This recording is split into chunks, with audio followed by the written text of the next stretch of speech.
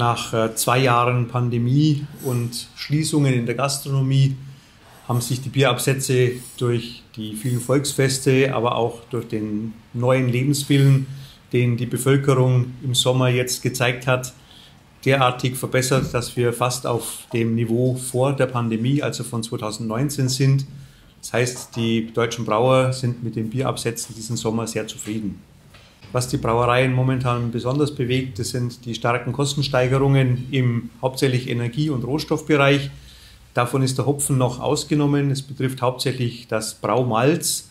Deswegen sind im Hopfen auch momentan noch keine Überlegungen, Umstellungen in Rezepturen von bitter auf Aroma oder andersrum anzustellen. Das heißt, da sind andere Sparmaßnahmen, insbesondere beim Energiebereich und auch Nachhaltigkeitsbestrebungen momentan an der Tagesordnung. Man sagt immer, gute Braugastenjahre sind schlechte Hopfenjahre, ähm, weil wenn es schön trocken ist zum Mähdreschen, dann hat der Hopfen zu wenig Wasser und so war es dieses Jahr. Die Braugaste ist relativ gut im Süden Deutschlands reingekommen, aber dem Hopfen hat eben seit April, Mai schon das Wasser gefehlt. Wenn wir jetzt heute bei der Ernteschätzung nass geworden sind, war das natürlich eine Ausnahmesituation. Trotzdem werden wir dieses Jahr mit einer erheblich schlechteren Hopfenernte in Menge und vielleicht auch in Qualität rechnen müssen.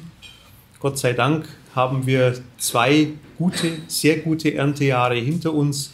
Die Brauereien konnten auch Vorräte anlegen und die Qualitäten der letzten Ernten waren hervorragend, sodass wir nicht in eine Mangelsituation im Markt rutschen, sondern einfach mit dieser etwas schlechteren Ernte, denke ich, umgehen können. Durch die trockene, heiße Witterung waren die Bestände natürlich etwas früher in der Entwicklung. Die Ernte beginnt somit ähm, ab Mitte nächster Woche bei den frühen Sorten und somit auch eine Woche früher als im letzten Jahr.